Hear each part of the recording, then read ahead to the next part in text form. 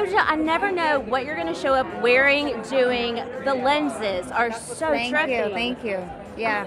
And I'm surprised we're not seeing you with a neck brace tonight. What gives with that Instagram post? You said you were Uh, fine, but So my friend here, my date, my lovely date, got whiplash, and uh, he took it. He takes it off, you know, sometimes, and so I just I stole it from him.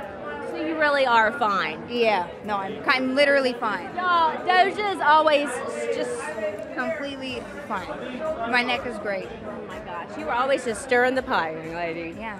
We are going to be seeing a reimagined, reinvented Victoria's Secret tonight. What can we anticipate with this new tour, this show, your performance? I'm very excited to perform any new material that I have, so I was I was really happy to have uh, that opportunity with Victoria's Secret. Yeah.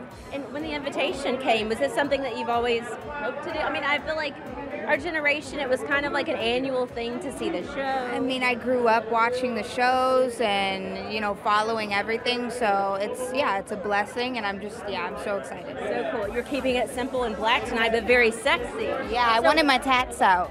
Yeah. Oh, I know. You've been getting a lot of new ink lately. Yeah, I got a new one in here, but no one's gonna like it. I love it though. Why do you think no one will like it? Because it's kind of like a it's like a sketch from an old book in like the 1600s. It's like not I don't know. People like things that are very detailed and crazy, and I'm I'm I don't know. I like my little creatures more than anything else. so. Do you ever think that they're misinterpreted? Yeah, absolutely. Yeah. Constantly. All the time. What do you feel like has been the biggest misinterpretation lately with people on the gram or social media? There's so many that I can't even begin to tell you. If you look it up, Yeah. everything is untrue.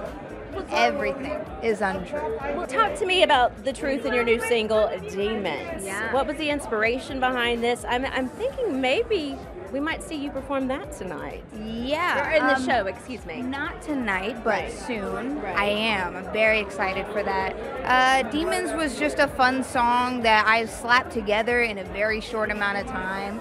Um, You got Christina Ricci on song. board to do the Yeah. video. How did Yeah. that come about? me and Brett just kind of had the same thinking, and we he, he thought it was a great idea. I thought it was a great idea, so she's just fantastic. That is incredible. Brett's risky business back here, but his risk paid off, right? Yeah. What do you want fans to know about your new music, Beyond Demons? Um, so was one thing I wanted to mention was that I have music that came out. These three songs came out. These were the first three songs I made during the period that I was making music. And then there's a second half where I went to Malibu and I made all this music in 10 days. That half is very different from the first half. How so? I can't tell you. Doja, Doja, But I, but I'm excited that, that it's coming out soon. Oh, so It's two we. periods, kind of. All right. So pre, post. Okay. I'm Two excited. kinds of Doja. Yeah. Yeah. We don't know which one we're gonna get. And finally, we're gonna see you at the VMAs. You're performing. You're Yeah. nominated. Can you give us a tease of what's to come with that performance?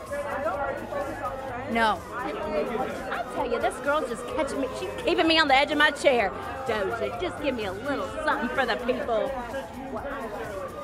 No. Oh my gosh. Okay, what are you hoping to see from the show? Because you've hosted the show before. So Yeah. what are you hoping to see as an audience member, a viewer, a fan? Uh, it's a big secret. It's a big ass secret. Girl, you are you are full of all sorts of secrets tonight. I can't wait to see what you're wearing. Thank you.